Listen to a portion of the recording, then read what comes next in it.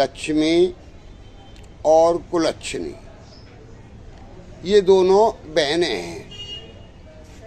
और ये दोनों ही रात्रि को भ्रमण के लिए संसार में आती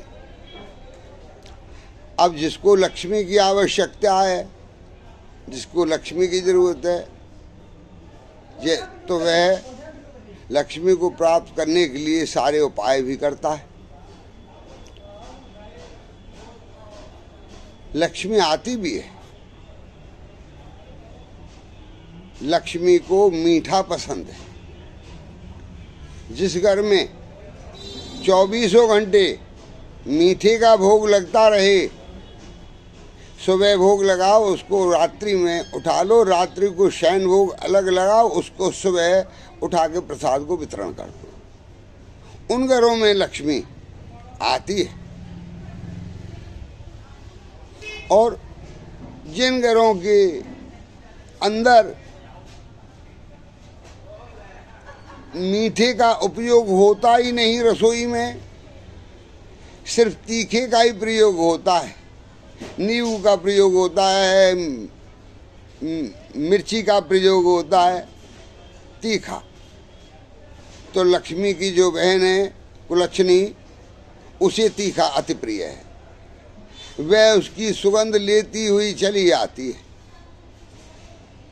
और जिन घरों में कुलक्षणी आ जाती है, आप जानते हो कि उन घरों की क्या दुर्दशा होती है। इन दुर्दशाओं से बचने के लिए आप हमेशा ये याद रखें कि हमें कुलक्षण, कुलक्ष्मी के जो रचे हुए लक्षण हैं, उन लक्षणों से दूर रहें। हमें घर में भी अगर नींबू और मिर्च रखने पड़े तो एक स्थान पर न रखें, दोनों को फ्रिज में भी अलग अलग खाने में बॉक्स में रखें। अगर तुम कर सकते हो तो नींबू और मिर्च को दरवाजे पर टांगो। लक्ष्मी को तो दौड़ करके भीतर आना पड़ेगा। और कुलक्षिणी को बाहर ही भोजन मिल जाएगा दरवाजे पर। मिल जाएगा ना? नींबू और मिर्च। तो जितनी वहाय जितनी अलाय, जितनी बलाय, सब उसी नींबू और मिर्च पर आ जाती है। जहाँ तीखा बनता है, वहाँ शैतानी पावर आ जाया करती है। और जिन रसोइयों में मीठे का उपयोग होता है वहाँ सदैव लक्ष्मी का वास होता है और नारायण का वास होता है।